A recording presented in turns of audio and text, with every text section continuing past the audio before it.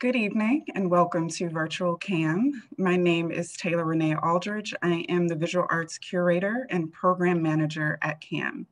And I'm excited to introduce tonight's program, Black Pentecostalism and the Azusa Street Revival, moderated by my brilliant colleague and CAM historian curator, Susan Anderson, with panelists Professor Gaston Espinosa and Professor Marne Campbell. An ecstatic interracial religious movement erupted in Los Angeles in 1906, led by charismatic Black preacher Reverend William Seymour, and known as the Azusa Street Revival. The movement is considered the origin of, of global Black Pentecostalism. Tonight, panelists will discuss how California became home to a movement that defied social, racial, and religious conviction, convention and sparked a worldwide denomination. The panelists included in tonight's conversation are Professor Gaston Espinosa and Professor Marne Campbell. Gaston Espinosa is the Arthur, V. Stoughton Professor of Religious Studies at Claremont McKenna College, and was the 2016-2017 William Simon Fellow in Religion and Public Life in the Department of Politics at Princeton University.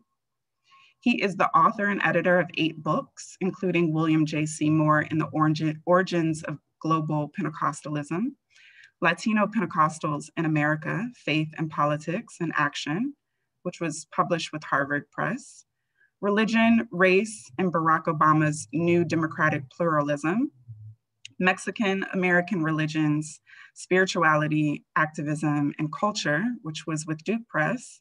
And lastly, the US Latino Religions and Civic Activism in the United States with Oxford Press.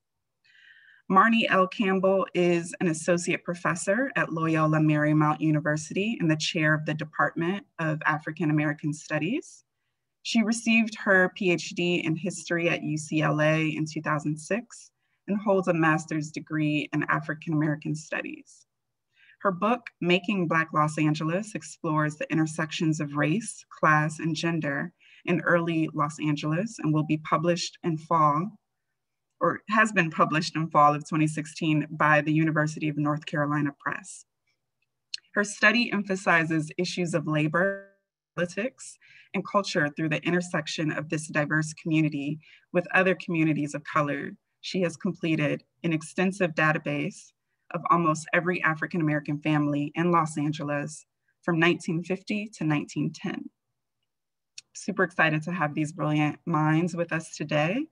Um, and the panel uh, today is presented in conjunction with my exhibition at CAM entitled Enunciated Life. The show, which is now on view, examines Black spiritual beliefs, as well as the movement, sounds, and other bodily expressions that have been engendered, that have engendered communication within and beyond Black churches. And it also explores how they operate as a point of departure for considering modes of surrender. Before I hand it over to the panel, I would just like to share a brief section of an essay that was published yesterday um, with the LA Review of Books that discusses my first encounter with incarnation, spiritual incarnation as a child. Um, I write in the essay that um, recalling the experience of uh, one of my first church experiences, that at the morning, in the morning at the Tabernacle Missionary Baptist Church in Detroit was the first time I committed myself to a public testimony, to a public claiming of spirit and faith. It was the first time I'd see a person sanctified or possessed by the Holy Spirit. Indeed, over several years during my engagement with the church, I would experience a litany of rituals that reminded us that we exist, rituals that remind us to continue doing so.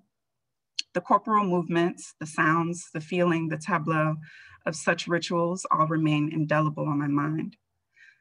Liturgical dancers dressed in white representing scripture and gospel through animated gestures, women in large brim hats and shiny skirt suits who capitulated with force, collapsing their necks, heads, and backs, people falling out as if everything else around them didn't matter, as if they were suspended between two states. Other women who ran to provide tissue and fans for the falling, a preacher conceding to an omnipresent spirit while consoling the congregants' possessed bodies from the podium. Witnessing the way that my fellow congregants, congregants gave up their bodies to the Holy Spirit manifested an unrelenting curiosity within me. How could you commit to a fall without knowing if someone would catch you? What are the feelings in that moment of collapse? Where do they go? What comes to them? From the outside looking in, and even on the edge of this witnessing, I have felt the hum, where I have felt the hum of the spirit circling my own body. This was the closest thing to freedom I had ever felt. With all of that said, I pass over, pass it over to my colleague Susan Anderson to moderate. And thank you all for joining us in virtual CAM. Thank you so much, Taylor. I want to welcome everybody this evening and tell you a little bit, give you our agenda for the evening. Um, also, to, of course, let you know that you're going to be a part of this. We're going to be taking your questions at the end. So please feel free to uh, write in the Q&A section. Uh, tonight, we're going to be talking about an, an historic event, the Azusa Street Revival. The original event, I'd like to remind you, occurred 115 years ago, April 8th in 1906 in downtown Los Angeles. So we're actually in the anniversary month for the Azusa Street Revival. And there is no better time to, for us to examine this history that is so critical to the history of our city and uh, to the spiritual history uh, of, of our country and actually around the globe. Uh, I want to emphasize that this program is being presented in association with the CAM exhibit that you just heard about from its curator, my wonderful colleague, Taylor Aldridge, Enunciated Life. Uh, we heard some of her personal testament. And I also want to remind you that CAM is open and you can uh, come to CAM, reserve your free tickets, and take a look at this exhibition and the others that are in our galleries. The Azusa Street Revival uh, represents a dramatic example of the coming together of the kind of intimate experience that Taylor talked about and that her uh, exhibition expresses a combination of that intimate experience and history making events on the street. What we're going to do tonight, our agenda is first, we're going to have Professor Gaston Espinosa. He's going to provide us with a kind of introduction. He's going to give a visual sense through slides of some of the main actors and movers uh, who were responsible for this eruption, for this revival. And after Professor Espinosa's presentation, Professor Marne Campbell and I are going to join him in a discussion about the Azusa Street revival. So Professor Espinosa, are you ready? I am. Okay. Wonderful. well, it's great to be with you all. Thank you so much, Susan and Taylor, for your warm hospitality. It's a pleasure and an honor to join you this evening. I thought what I would do is just share with you a few photographs that capture a little bit of the spirit of Azusa Street and give you, give you a sense for who was involved. This revival uh, ushered in a whole religious movement. In fact, one could say without exaggeration, it's one of the most important religious movements of the 20th century and even world history. Because today there are hundreds of millions of people around the world that trace their roots back to this Pentecostal revival in every part of the world. It crosses racial boundaries, linguistic boundaries, cultural boundaries. It permeates all facets of life in quiet little ways. Because most Pentecostals come from the working class background, they tend to be women, they tend to be racial ethnic minorities, people that live in the margins of society, but also in CEOs, also in you know in high-tech businesses. So the movement itself is, is a, a movement that transcends boundaries, that transcends borders, and it has a very uh, set of humble roots. But the but the the roots are part of what makes it so powerful. It was a little movement that began in an obscure section of California in the Black Temple district, as it was called in Los Angeles in 1906. Let me show you just a few pictures here. We're going to go to share screen of this revival, uh, in particular the places where they met. So here we have a picture of William, William J. Seymour. He's probably about 35 or so in this picture, 35 to 40 years old, with a Bible in his hand. And there to the right is the Apostolic Faith Mission, or the Azusa Street Mission. And this is where the revival lasted for three years, from 1906 to 1909. According to reports, it, it, it uh, went every day for three years. They had three services a day morning, noontime, and evening, and sometimes the services would blend into one another. This used to be the Stevens African Methodist Episcopal Church, which they used for a number of years. And they eventually moved into a new, a new location. And this was used as, as a barn on the first floor and as apartments on the second floor. So the Stevens Methodist Episcopal Church, African Methodist Episcopal Church, rented it out to Seymour and their, their, their team of believers, and they turned it into a place where a revival erupted in 1906. So this is where they met. It's a place that's important because of its location. It's in the historic Black community in Los Angeles, and it's in a place of expectation because prior to the revival, there was a citywide prayer service for revival. People across denominations, across racial ethnic groups were praying for an outpouring of the Holy Spirit before Seymour even arrived in the city.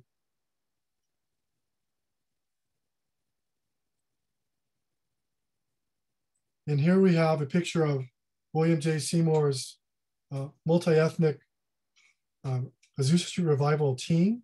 Notice it's made up of men and women. And this was the leadership team for William J. Seymour.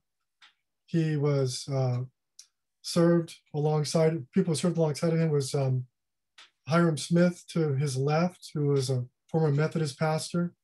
And then you have various leaders all around him who came from different denominations to Los Angeles when they heard about the revival.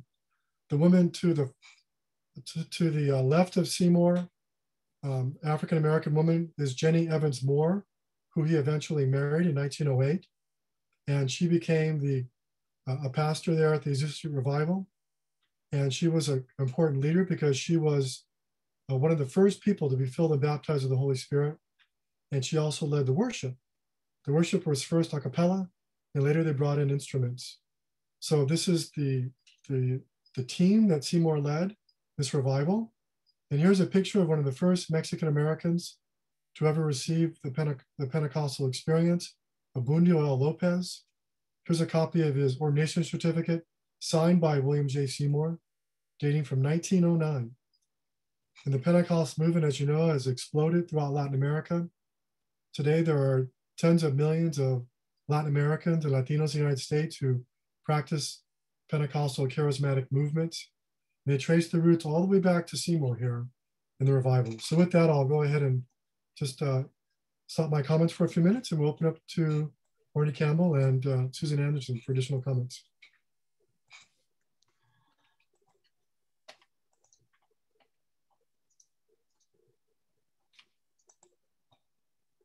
I don't know if I should start or if Susan should start. Um, yes, I'm here. Just a, you know, a little delay. Um, we want uh, Gaston to join us too. Um, so come back on screen. Thank you.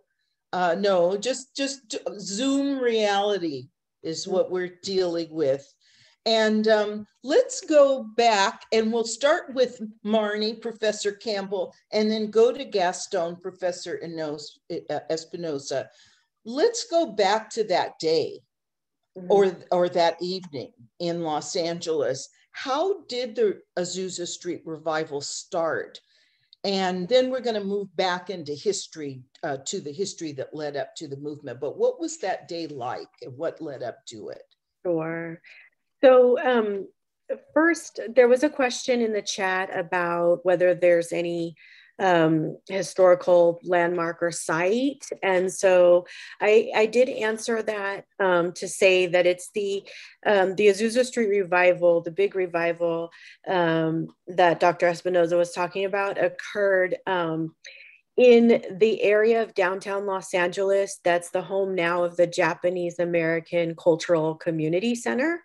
Um, so it's in downtown Los Angeles. But before that, um, the, the group started off as like a small prayer group. Mostly it was, you know, there, there's some history that we'll get into, but mostly it was Seymour and um, some some black women who who did laundry and things like that, who supported him. A few people from um, some churches that brought him out here, and he was staying in the home.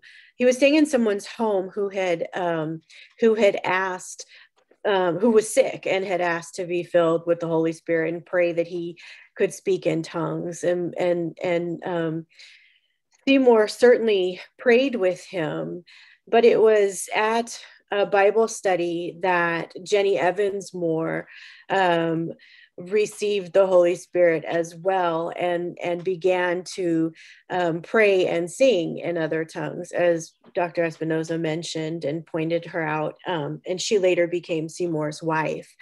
Um, so with between this group and these two people, these two um, groups of people, the they sort of lived in the same area, and I put that in the chat as well. And on Bonnie Brae Street, and you can go to the house um, on Bonnie Brae Street where this happened um, and um, and so when people started being filled with the Holy Spirit and speaking in tongues, many people would come to this house to experience the Holy Ghost um, in the same way. And they had so many people there that they say that the porch in front of the house just fell off of its foundation um, because so many people were there, and the police were always um, asked to come and intervene because people would just fill the streets.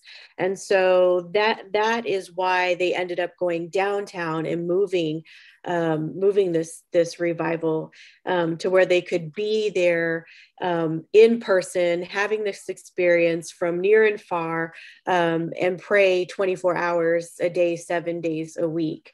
Um, so that's they they ended up moving to the facility that could really couldn't house all of those people, but could accommodate them the best way that they could that it could.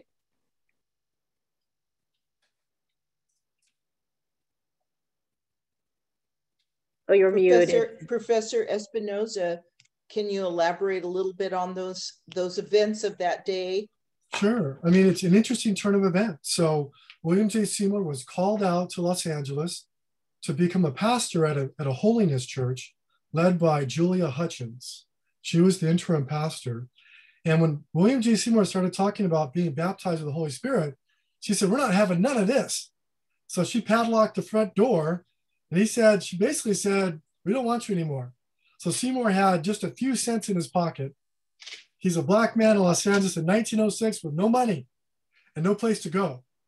So at that point, he turned to one of the um, one of the congregants, Ed Lee, and Ed, Ed Lee felt sorry for him. So I said, "Why don't you come stay with me for a bit until you can raise some money to get back to Texas?" Because Seymour had come recently from Texas, where he attended Charles Parham's Bible School, and basically when he was uh, with Ed Lee, he said, Look, why don't we start a prayer meeting for revival? Let's do a 10 day prayer meeting. Let's pray for the Holy Spirit to fall. And Ed Lee wasn't quite sure to trust him or not, but he, he decided to step out in faith and he did. And they started this prayer meeting. And a couple days into the prayer meeting, the fire fell. And by that, they meant that the Holy Spirit had fallen on some of the people at the prayer meeting. And they began to speak in unknown tongues, and Ed Lee was one of them. And then when Ed Lee began to speak in tongues, other people started praying to receive the baptism of the Holy Spirit, as is talked about in the book of Acts, chapter 2, verse 4. It says, And when they were in the upper room, the, the Holy Spirit fell on them, and they began to speak in other tongues on the day of Pentecost, thus the name Pentecostal or Pentecostal movement. So that's what happened, and that began to attract a lot of attention. Ed Lee's received the baptism of the Holy Spirit. He's speaking in tongues. And then Jennie Evans Moore speaking in tongues. William J. Seymour received the baptism of the Holy Spirit after other people received it on April 12th. He, he, he received the baptism of the Holy Spirit. And here's what's interesting about it. He was already talking about speaking in tongues before he himself had done it. But he believed in it. And one night he got up, he got on the altar, the makeshift altar in the Bonnie Brae house, and he was praying next to a white man. And they both received the baptism of the Holy Spirit at the same time. And they both began to speak in tongues, black and white. And that's how the movement began. And from there, it moved over to Azusa Street, where the first supernatural event took place with the Mexican American. But I can tell you that later if you have time. We'll definitely talk about it. And just want to talk a little bit more about that original event that you referred to. There are plenty of people watching and who will watch in the future who are not in this faith, who are certainly not Pentecostal. Talk about the Pentecost in the New Testament book of Acts because it's the centrality of this uh, denomination. Professor Campbell, would you like to, to talk about this? Oh, I would. well, I would, but I was waiting for you because I think you probably have a better, sure. you know. As a professor of religion. okay, I'm happy to do this. Yes. So in the book of Acts, okay, so after Jesus died, according to the Christian tradition, he rose from the dead. He said, wait to receive the Holy Spirit. So they went to a place called the upper room in Jerusalem, and they were praying to receive the Holy Spirit. They had Jews from all over the world. They spoke multiple languages. And they had people that were not Jewish as well there as well. And they were all praying to receive the Holy Spirit. Jesus promised them that the Comforter will come. The Comforter is the Holy Spirit. The Holy Spirit is the third person of the Trinity. And the Holy Spirit leads and guides Christians into living a holy and virtuous life. And so when they were praying in that room, a lot of people, some people say over 120 people, were praying for the baptism of the Holy Spirit. The Holy Spirit fell and they began to speak in other tongues. Now, what is a tongue? There's basically two different ways to understand this in the book of Acts.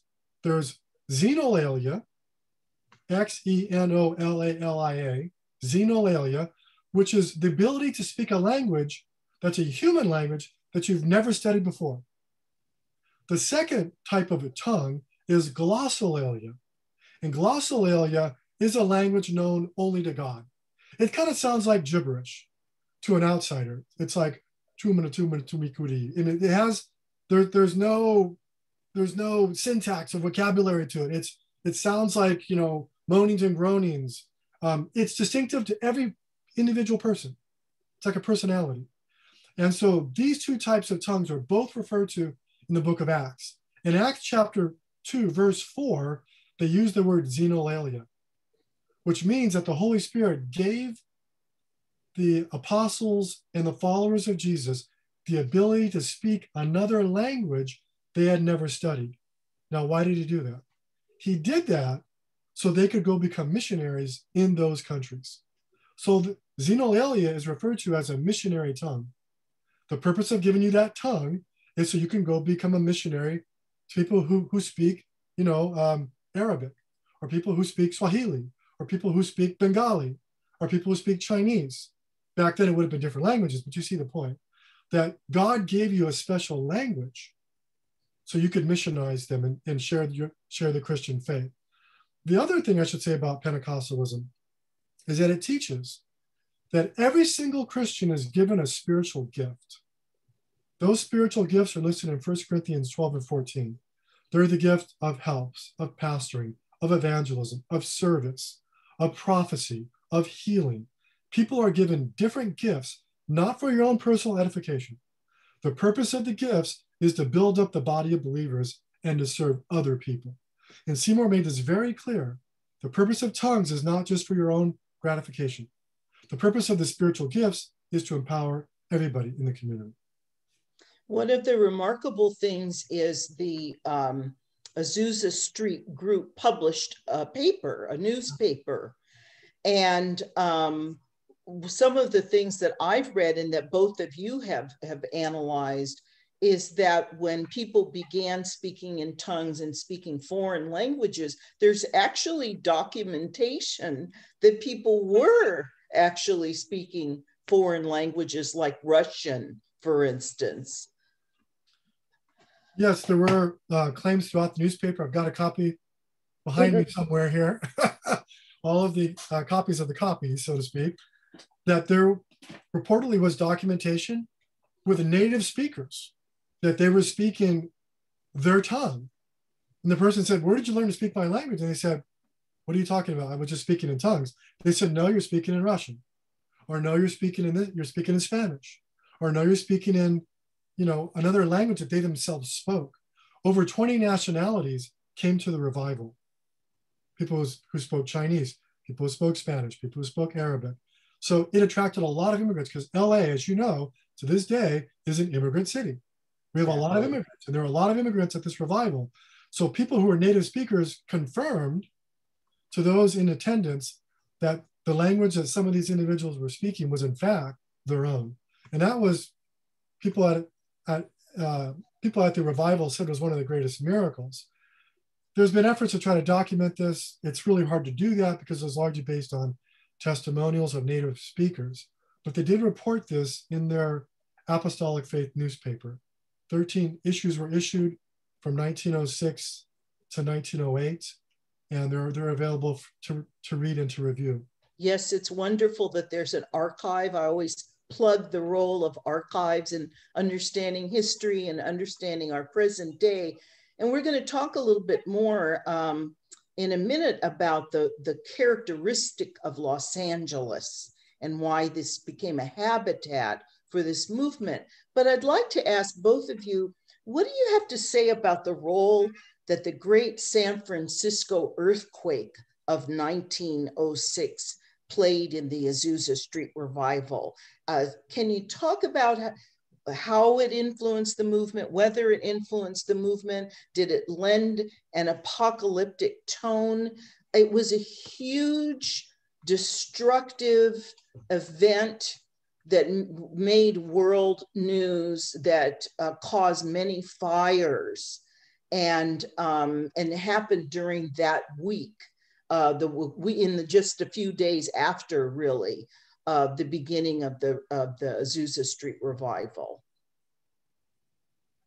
Yeah, um, well, I look at it in in several ways. Um, so on the one hand, you've got this huge catastrophic event that is occurring, you know, at the beginning of a new millennial um, millennium, right? So you have like a millennialist um, sort of um, take on it. Um, and then, you know, so every new millennial, um, we believe, people believe that the world is going to end. Um, and so so there's there's the sort of okay this is a sign that the world is ending or that god is um is judging right that there that judgment has come and things like that so I, I i kind of look at it in that in in that respect on the one hand um and um travelers um, people who visited the Azusa Street Revival and led the Azusa Street Revival at certain points um, uh, uh, Frank Bar- Bartleman, Bart, am I saying that right? Bartleman mm-hmm. was one of those, thank you, was one of those who really saw this earthquake as a sign and a symbol um, for people to sort of get get right with God and and those kinds of things. So it, it does sort of um, um, you know, kind of uh, spiritually do something for for people um, at the same time i look at it as a way that also um, um, encouraged or pushed, uh, like a push factor of migrants out of San Francisco, not just Black migrants, but all kinds of migrants from all backgrounds. Dr. Espinosa has talked about, um, you know, LA being this diverse city, a city of immigrants and stuff like that. And these are people, you know, some of these people would have probably gone to San Francisco at that time, if not for the earthquake, um, who end up coming to Los Angeles during that time. So I also look at it um, as um, the who's making up, you know, um, the city who's coming to the city, and why doesn't this happen in San Francisco as as opposed to um, Los Angeles? And so there, there, those are the sort of practical um, human, I think, ways that I look at it. Um, but I know, and Dr. Espinosa um, may want to add, I'm, I'm, not sure, or elaborate on the spiritual side of that because it is, it, it was a big thing. And it also, it also proved to people that, you know, um, God was, God was watching. I mean, we, people say all the time, you better get right with God, you know, get right now and, and things like that. So, um, so I, I but i really try to focus on what then what you know how los angeles becomes um, a more ideal place for this to occur but i also think that los angeles didn't have i don't think i know los angeles didn't have the same sort of racial problems um, as San Francisco, Oakland, Sacramento, places where there were larger populations of Black people. Um, and Los Angeles had, um, you know, both cities, um, San Francisco and Los Angeles had huge mixes, as we said, of, of people from different ethnic and racial backgrounds. But the way that, you know, um, people interacted with one another was very different here in Los Angeles than it was in in Northern California, um, and so so that I mean one example we talk about Seymour and um, and Edward Lee and and Edward Lee was not a um, he was a white man. He wasn't he wasn't black. He wasn't a person of color. Um, you know necessarily he was he was a white immigrant um, and so I think that you know that also says something about the ways in which people interacted on a personal level that could make something like Azusa Street happen here as opposed to other parts of the country. I would simply just add that um, Los Angeles in 1906 wasn't a big city. You know, the, the city really doesn't take off in population until the 20s and 30s. It was not seen as a backwater, but it wasn't a prominent city like we view it today. San Francisco was the place to go in California for any number of reasons. And so Los Angeles is a fitting place. It was a place on the borders and margins of society that was beginning to grow and beginning to become a global port city. Um, and so, you know, for this event to take place there is strategic because people are, are moving into a new place. When you have new populations, all converge in one place. You have a greater openness to new ideas because everybody's looking for a home. Everybody's looking for someone to connect with because they're leaving wherever they came from. For Seymour, it was the South. He grew up in Louisiana and spent some time on the, on the road along Harriet Tubman's Underground Railroad going up through the Midwest, but eventually going to Texas to find relatives lost during slavery days, and then on to California when he was invited to pastor a church, a holiness church there. So the earthquake itself was interpreted in different kinds of ways. For some, it was interpreted as a premonition that something great was going to happen, that God was going to do something great in this new century. For others, it was a foreboding of God's judgment. And for still others, it reminded them for the need to pray for revival and that people were reminded they were frail, that life is limited and fleeting, that they need to get right with God. So it was definitely talked about by Frank Bartleman.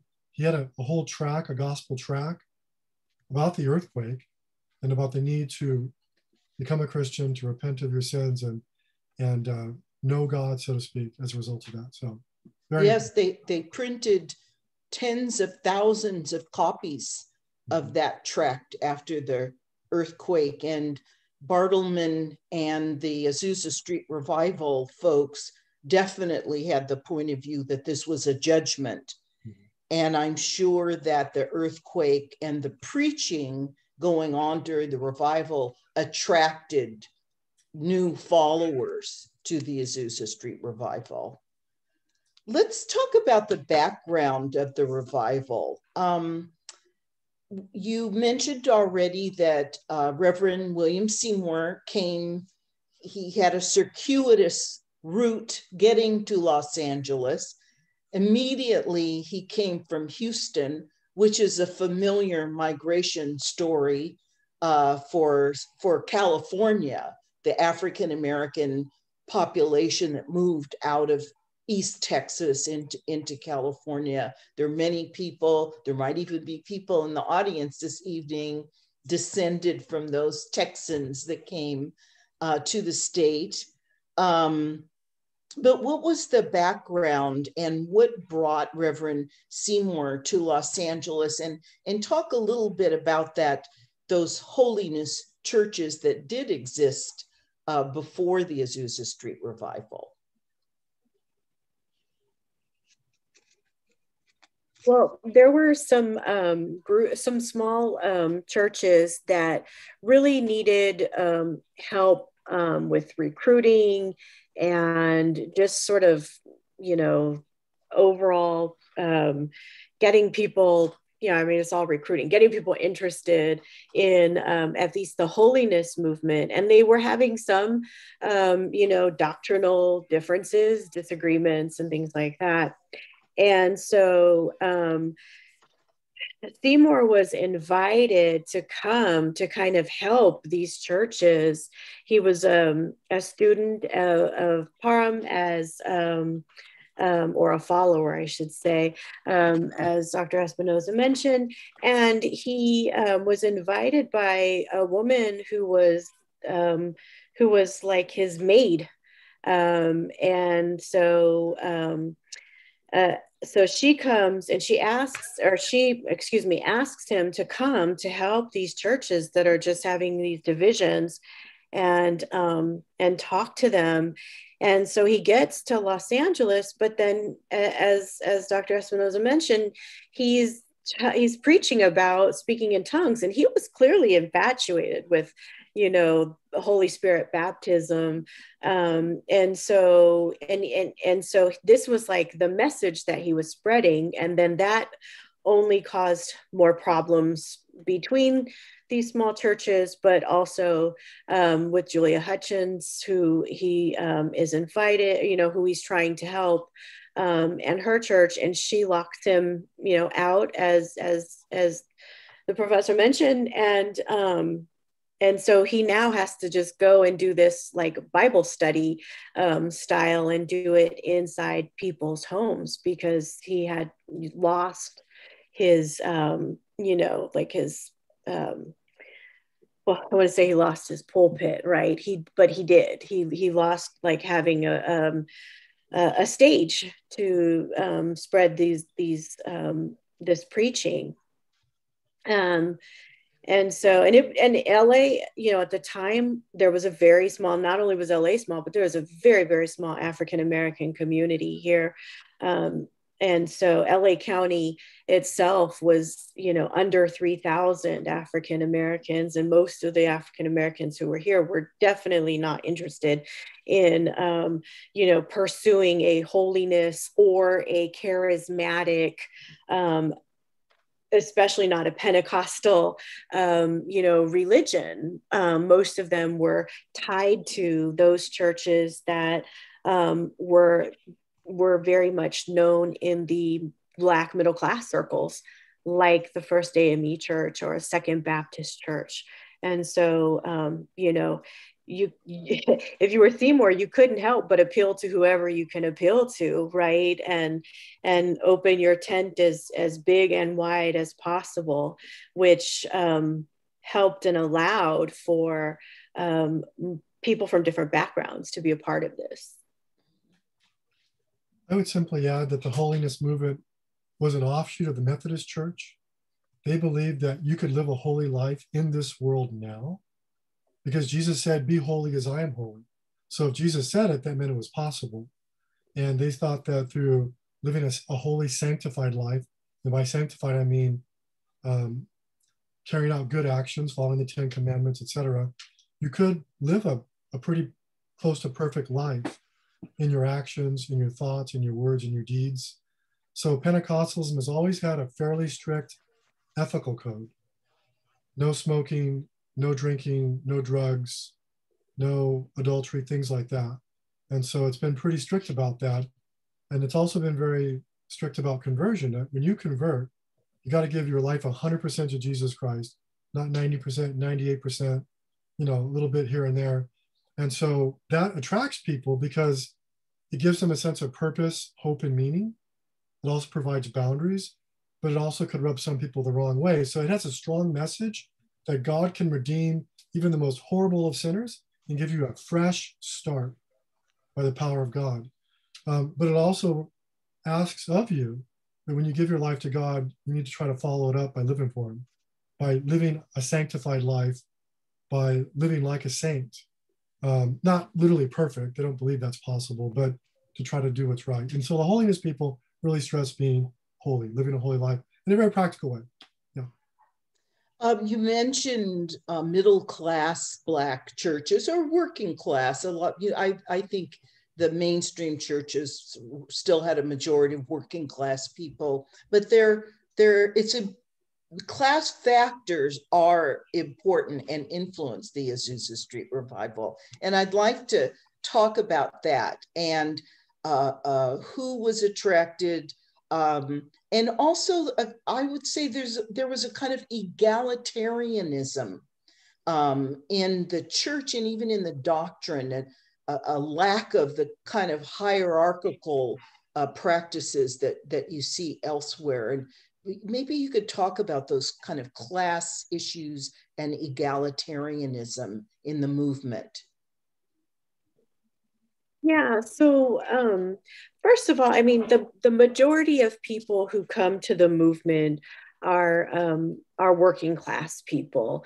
And the the the the the examples of a Holy Ghost baptism that people are seeing, um, people, passersby on the street, um, don't see this as, um, you know, this is clearly not highbrow if they were trying to be cultured, if they were trying, none of that was part of um, Azusa Street, right?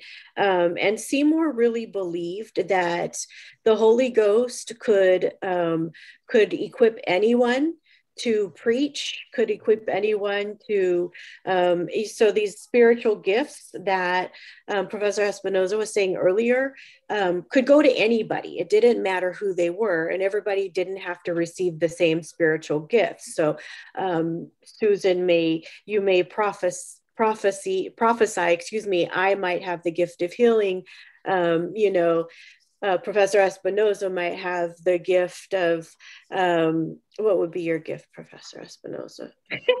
service, service. service.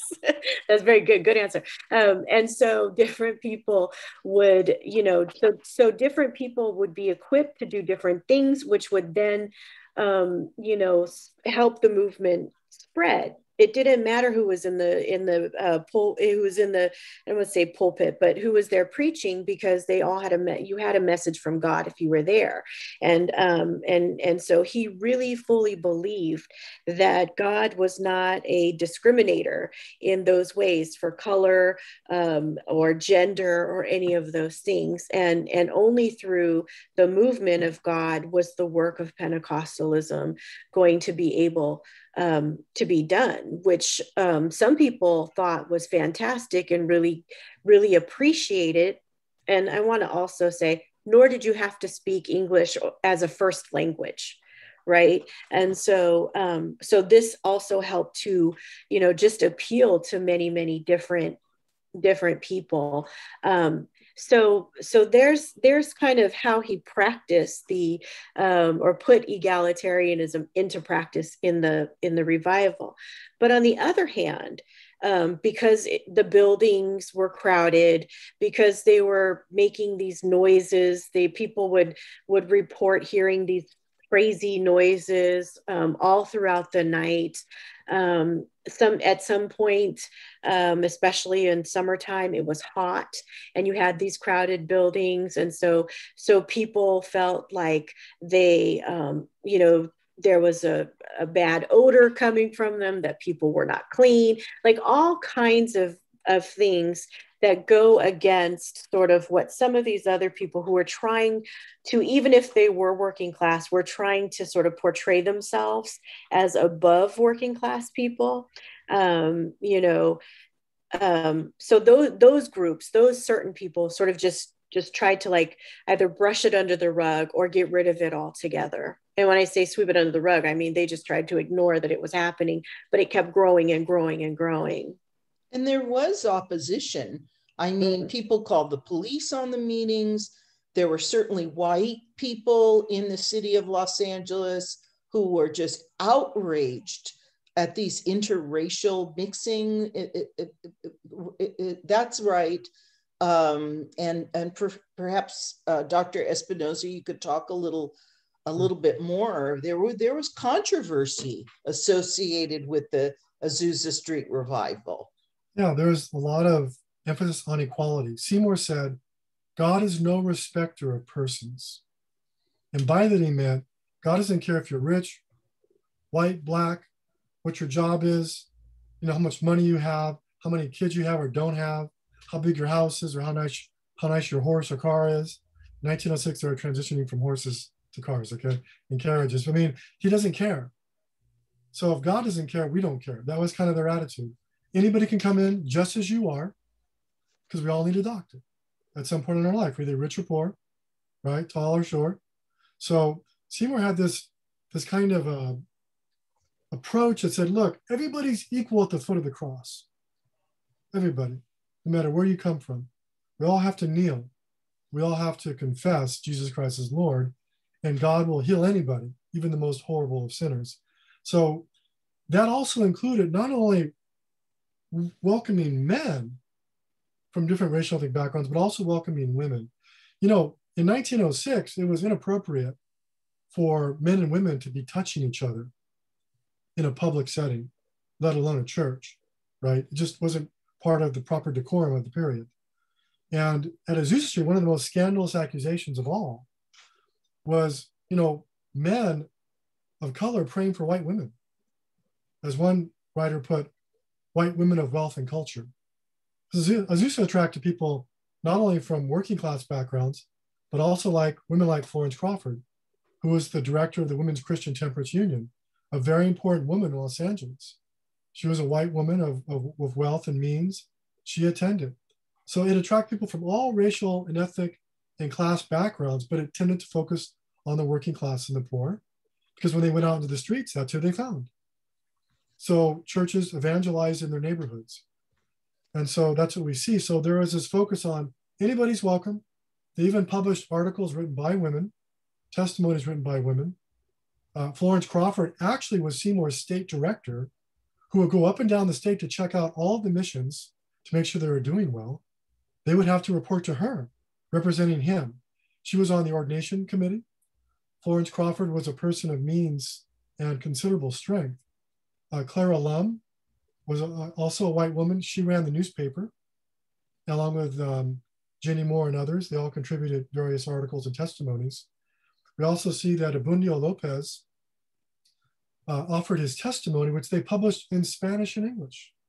It's one of the very few instances where you have a movement led by Blacks or African Americans publishing materials in Spanish. So that's a remarkable testimony. It's in, it's in English and Spanish. They also uh, publish brief testimonies are statements by other Mexican Americans who also attended. And similar comments can be made about other ethnic groups at Azusa. So there was this egalitarian principle that God respects people with sincere hearts who are really seeking after him. And if you don't have much, it's okay because God will make up the difference. He may not make you rich, but it'll make you happy the statement about women like Florence Crawford is very powerful because this was a time, um, especially in the um, temperance movement and in the suffrage movement, where white women, especially white women of privilege, uh, racial segregation was something they were not willing to give up. They refused to work with Black women in their organizations and they had very strong pronouncements about why they wouldn't do it. So just to give people a sense, because history, thing, you know, things things in the past uh, uh, definitely had a had a certain implication, and for those women to be in the movement but also very highly visible as leaders of the movement, was um, really a huge departure from the social and political behavior of most white women uh, activists at the time, including in, in California. Um, and this multiracial nature of the movement, um, Professor Campbell, you wrote that the Pentecostal movement that this uh, represented had the potential for bringing about a revolution in the nature of interracial and intergroup relations in the United States. And how, how so? Well, this is, you know, a rare instance where you see people from all different backgrounds, but, you know, particularly racially, racial and ethnic backgrounds coming together for one common cause. Um, and every, not every, I mean, there were a few I will say power hungry people, you know, power grabbers and things like that.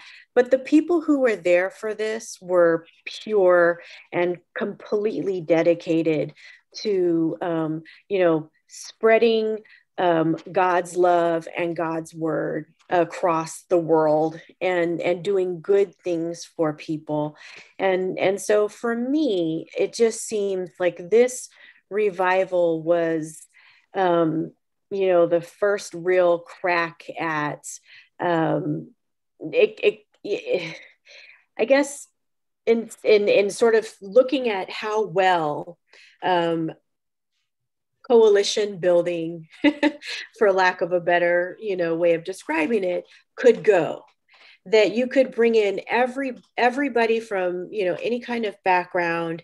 And as long as everybody was focused on the common goal and not focused on themselves um, that you could achieve so much.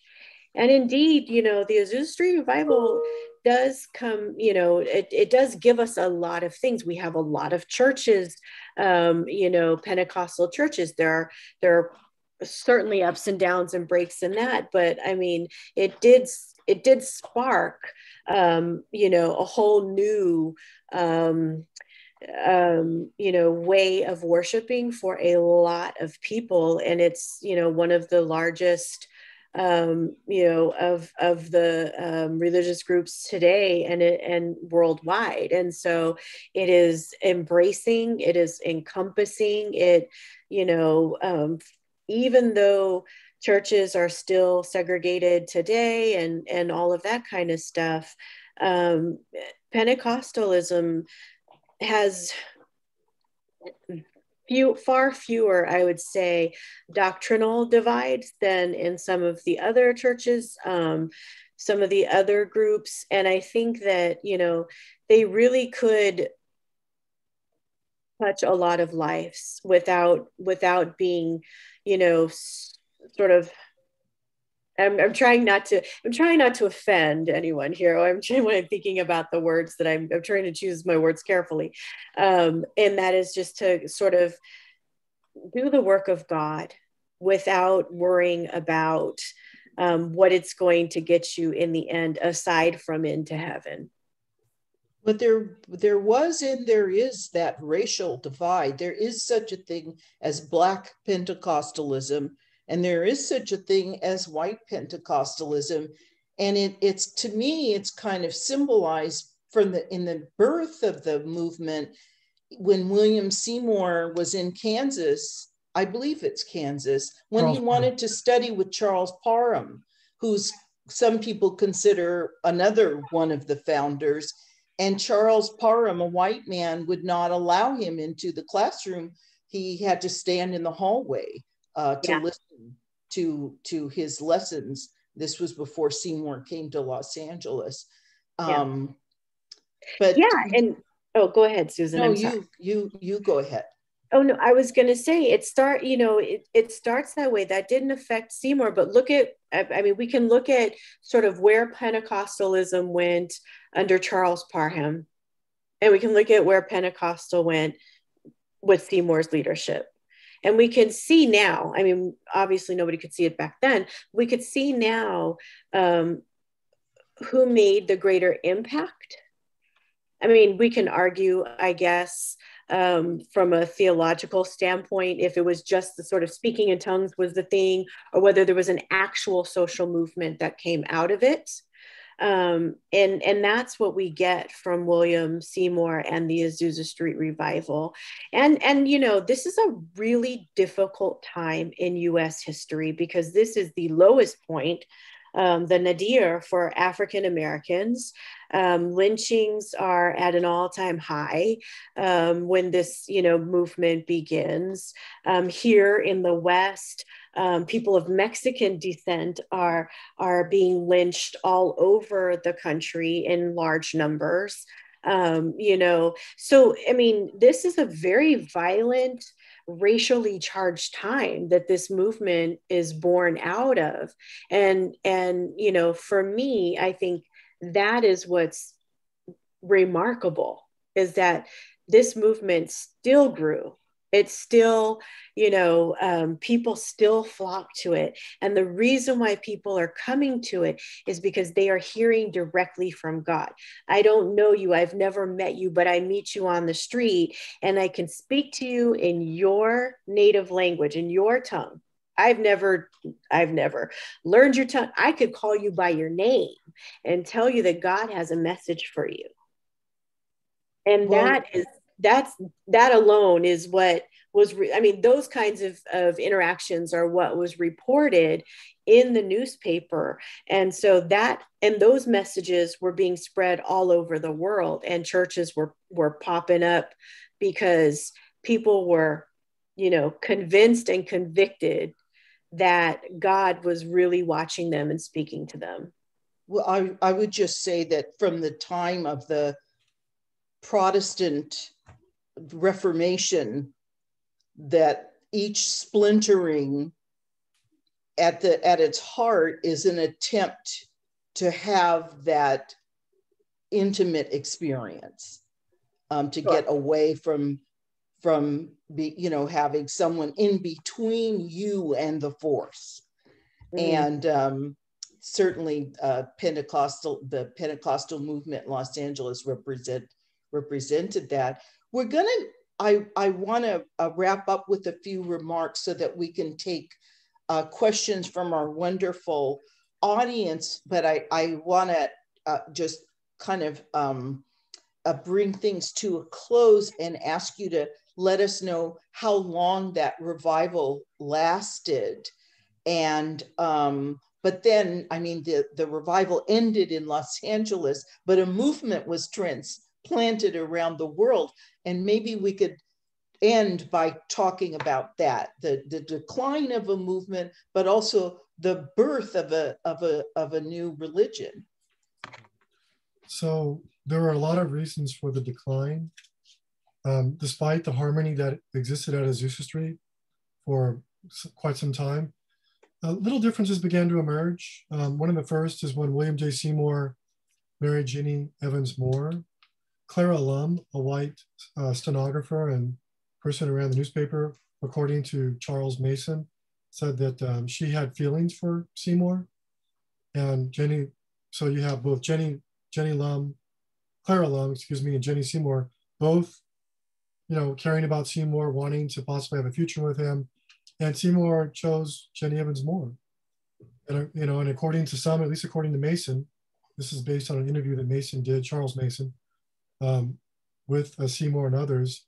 Uh, according to him, Seymour told him that Jennie was upset, excuse me, um, Clara Lum was upset after he decided to marry Jennie Evans Moore. And she was so upset that she took the newspaper with her, went to, to Oregon, where Florence Crawford had moved to start a new satellite church in Eugene, Oregon, and started restarted the paper there under her uh, under her guidance. And so when she took the newspaper, she took away Seymour's platform to reach people around the world. By that time, they had published 405,000 copies of the Apostolic Faith newspaper. And they were going all over the world. People in South Africa were reading them, people in India were reading them, people all over the world were reading these papers, even before Azusa missionaries went there. So Seymour's theological DNA was being exported globally through missionaries, through other newspapers that would carry some of the articles, etc. And so when, when Clara Lum took that newspaper, that was a very significant step because it took away Seymour's ability to reach people across the country and also across the nation. He no longer had this massive platform, this technological platform, an advantage. Second, there were some power dynamics where some of the white leaders tried to take over the mission.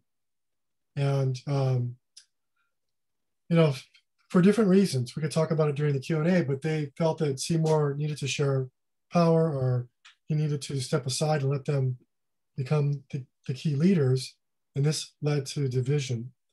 And for that reason, some of the leaders left and began starting a rival mission called the Upper Room and other missions in the area that in time began to compete with the Azusa Street. So this fragmentation theory that I've argued or component of Azusa Street is one of the strengths of the movement, right? People feel called, they feel, feel empowered, and Seymour would give money to people. They take an offering right there on the spot. They'd send people to India, to Sweden, to the Middle East, to China, to Africa, to Liberia, to South Africa. But the downside to it is people also feel called to start their own movements, even in the city of Los Angeles. And so that was one of the um, unfortunate developments of the movement is that people began to create missions that began to compete with Seymour's mission. So those are some of the reasons why um, Seymour's contributions began to decline. And by 1911, the, the, the revival formally ends around 1909, in the year 1909. It still lingers on, aspects of it through 1911, 1912. And then after that, the mission still is in full operation until 1932. But um, it's a much smaller group. It's really reduced back to about 40 people. The original interracial band of Black men and, and, and, and women and white men and white women um, praying for revival and doing their spiritual things. But yeah, so those are some of the reasons for the decline. Um, its impact, though, significant. One little story. You know, Martin Luther King's last speech was at Mason, Mason uh, Tabernacle. And that's Charles Mason's church. And it's ironic, you know, that that here you have Martin Luther King giving a speech from a pulpit influenced by Seymour. He gives his famous I've been to the mountaintop speech there. It's a powerful speech. And it, I think it ties nicely and eloquently to what Seymour was trying to do, you know, more than half a century earlier to create a colorblind society and a colorblind church.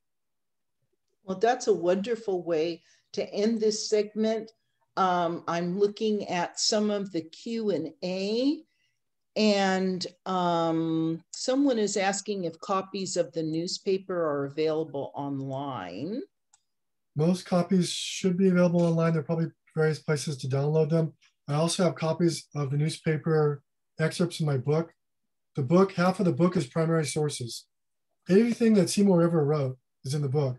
Testimonies for Seymour, even some of his critics, are also in the book.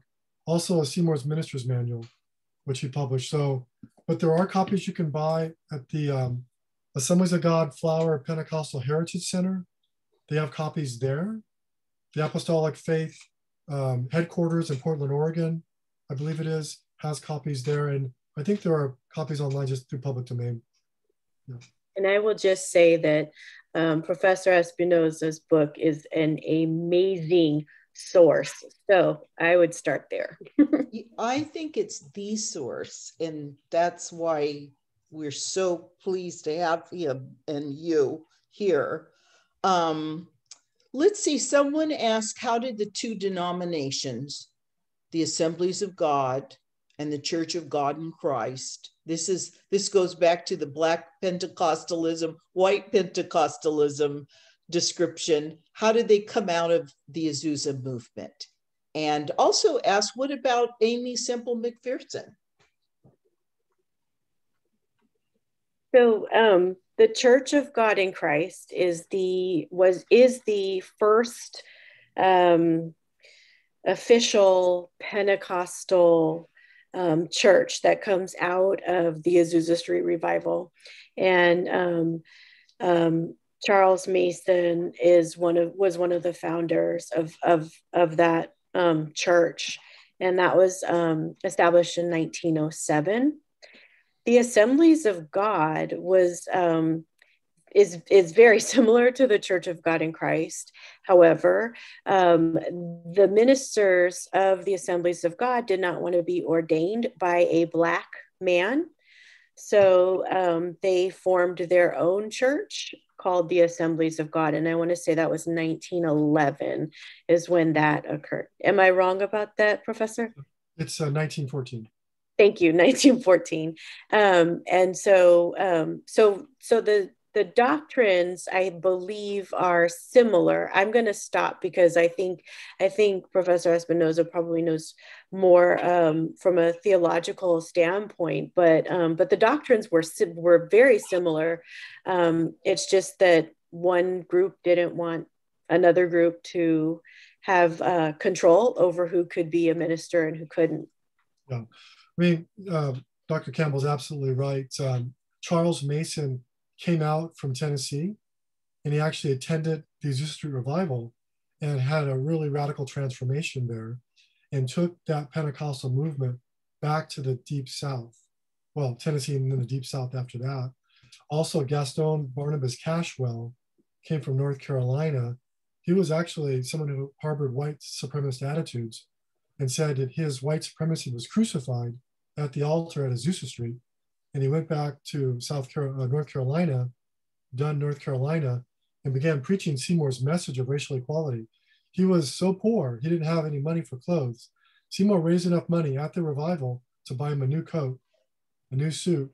He went back and he created the, basically the the Azusa of the South for a number of years and converted countless white Americans and blacks as well to Pentecostalism.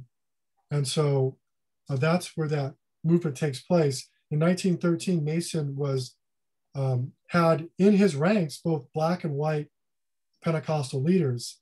Some of the Southern Pentecostal leaders felt that they should have an organization uh, primarily for whites. They wouldn't probably say that in official documents, but that's functionally what it was. And so they created in Hot Springs, Arkansas, the General Council of the Assemblies of God. Um, and uh, for a period of time, actually, the Assemblies of God would would put in the ministers because they still had black ministers in the Assemblies of God, but they would put in notation after their name colored because you couldn't tell by their name if they're white. So if you lived in a segregated town, whether it was because you were, it was whether or not you harbored white supremacist views or not, people in your congregation might. So they would note the racial identity of the person in the minister's uh, book with listed all the clergy, so you could figure out who to invite. But they they repented of that um, act in the Memphis Miracle a few years back, in other ceremonies. But uh, basically, the movement fragmented along racial and ethnic lines, in part because of their primary constituencies, in part because of the hardening of racism. The, in the United States. Uh, yeah, in the United States. The, the Ku Klux Klan doesn't reach its ep- doesn't reach its high point until 1925. So the Assemblies of God is created in 1914. So there's a lot of pressure to, to, to uh, restrict what you do. But let me say this, both in the Church of God in Christ and Mason's denomination, and also in the Assemblies of God, you have people from other racial ethnic groups as well, pretty much throughout the entire history, but they were not very large in number. That's changed a lot today. They're very different movements. Mm-hmm that the little addition about Aimee Semple McPherson in the question reminds me that Los Angeles was a place of, re- of religious and spiritual experimentation, that it was where the Fellowship of Reconciliation, where the Science of Mind, Aimee Semple McPherson, Buddhism had roots here early in the history of the city and I think helped make the city more um, a, a, a, place uh, more welcoming, more open to something like the Azusa Street uh, revival. And maybe since we did have the question, somebody uh, could address a little bit about Aimee Semple McPherson. Where did she fall into this Azusa Street revival uh, uh, context? Well, you, would you like to take that or would you like me to take that? Okay, so Aimee McPherson came out of a Salvation Army background from you know, in Canada. And she uh, received the Pentecostal movement when she was a young woman. She wanted to be a missionary in China. Her husband died, and there were missionaries overseas. She came back, and she felt called to start a, a ministry in Southern California. She actually knew Seymour, and Seymour actually attended some of her church services, but she didn't acknowledge him from from the pulpit, though, unfortunately. But they did know each other. They didn't know of each other, at least. And she really helped to uh, build the profile of the Pentecostal movement in Los Angeles through her um, Angelus Temple, which seated 5,000 people, which at that time was one of the mega, mega church. Mega church. I mean, actors from Hollywood would go there. Charlie Chaplin, uh, Anthony Quinn. He was actually converted in, in, a Latino Pentecostal church. And then Anthony Quinn started going to McPherson's church afterwards because McPherson and a, Mexican American um, evangelist I'm writing a book about actually held joint services together. So McPherson was open to working with people from a different racial ethnic groups, but uh, she did have a strong personality, just put it that way. But she was very open and she was very evangelistic and very effective and really helped to build a profile there uh, in Los Angeles. I think Anthony Quinn actually grew up in that neighborhood yeah. um, too, near Echo Park Lake. He did. Um, he, yeah. he actually went to um, a Latin American Council of Christian Churches church when he was a boy. He played, I, I think, the saxophone, and he was in the, this uh, Mexican American Pentecostal church's worship team for a while. And then when McPherson and this Mexican evangelist named uh, Francisco Olazabal had joint services in, in Watts and Boyle Heights, um, he heard her preach, and he spoke English too, because his father was was uh, Irish, his mother was Mexican, and he started attending. And his mother was healed actually at a Pentecostal service, I think in this Mexican church. And so Anthony Quinn was pretty involved in that church for a number of years as a, I think, a young man, high school and or college age. And then he, and then he went into the movie industry. We should probably mention for there are probably people in the audience who don't know who Anthony Quinn is. So Anthony Quinn was a very famous uh, actor and a movie star. He played in a number of films, uh, um, Zorba, Zorba the Greek, Zorba the Greek, uh, a film about uh, called Barabbas about the person that was not crucified. It's actually a very powerful film. It's people forgotten about it, and just a number of films throughout. Number of films, in in case very famous actor, A-list Hollywood actor. Um, someone asked, where do we find Pastor Seymour's grave? So Pastor, I'm sorry, morning. So Pastor Seymour is buried in Evergreen Cemetery in East LA, along with Aimee Semple McPherson. You can find her grave there, and also Francisco Olazabal. All of their graves are located in that one cemetery, and others as well. So I was just I was going to say that as well as um, you will find other um, early Black pioneers for Los Angeles buried there as well yes, it's, it's if you're interested in history, well, many graveyards are are good places to to know about, but it's in it's extraordinary the historical figures that are that are in these in these graves. Um, someone asked, how did Reverend Seymour get whitewashed out of Pentecostal history? Well, uh, Marne, did you want to take that? well, from a historiographic standpoint, um, when uh, people were writing the history, the debate was was the initial debate was about sort of when does Pentecostalism um, in America begin um, and and so like who is the father of the doctrine of, of of tongues right?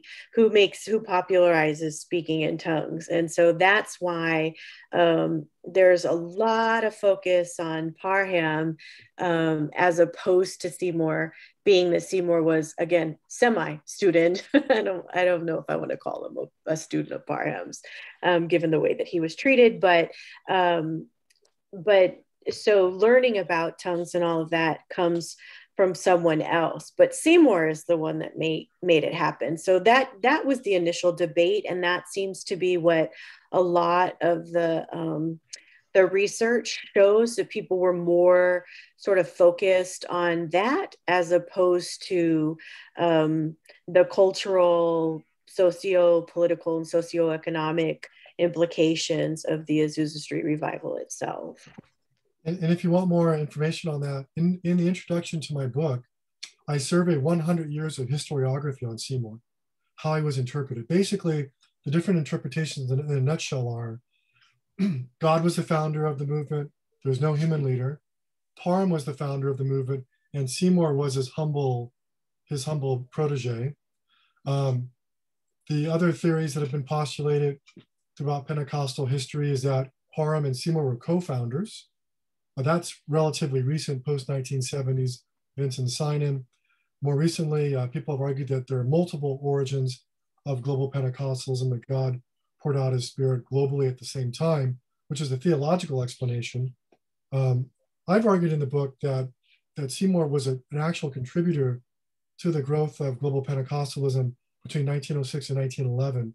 Once he lost that newspaper and then his platform shortly thereafter, his influence tapered off. And in part, it tapered off because there was a struggle between Seymour and Parham himself. Uh, Parham begins to criticize Seymour's mission and he uses a lot of racial derogatory language, which is all in the book, in the primary source section at the back, um, to describe Seymour and the mission in highly racialized terms and tries to, to diminish it. But Parham's personality uh, cost him his own leadership. People thought he was too acerbic, he was too um, denunciatory, and he was also accused of some, some uh, sexual impropriety and misgivings. So his star began to fade pretty quickly after 1906, and he was largely a regional leader in the Midwest, uh, Kansas, Oklahoma, Nebraska, Texas, that Missouri, that region is where his influence largely remained through most of his life. I want to add one more thing that's really important. You know, it's pretty popular to this day to say that Seymour simply popularized Parham's belief. But actually, Seymour promoted a much more orthodox view of Pentecostalism that was consistent with Protestant orthodoxy. Parham taught annihilationism, that there's, that there's no such thing as hell. He taught eighth day creationism. He taught that miscegenation caused Noah's flood. Um, he, he promoted a lot of kind of universalism. He promoted a lot of beliefs that were not considered orthodox or Orthodox Protestants or Catholics. Seymour kept the movement orthodox. And Seymour was very clear to criticize Parham after Parham's break with Seymour in, in, October of 1906.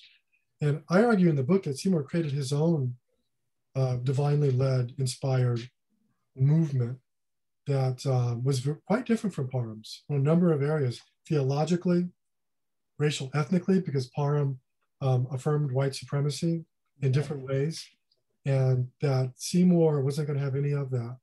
So Seymour did go to Parham's Bible School for about six weeks or so. There's a big debate about the level of influence. He did, Parham did influence Seymour's belief that speaking in tongues was the initial manifestation of the baptism of the Holy Spirit.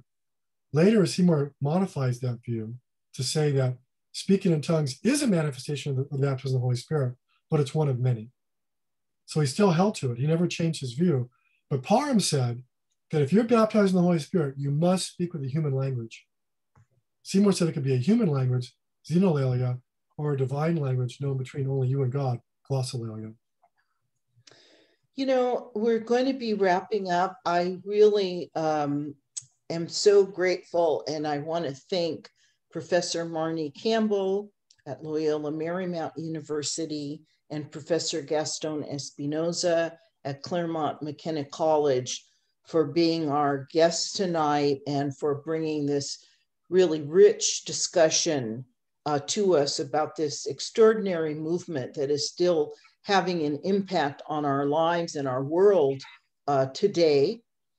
I want to thank the audience for joining us. Um, let me say that the California African American Museum is a, an institution whose mission it is to gather and preserve and interpret California's African American history.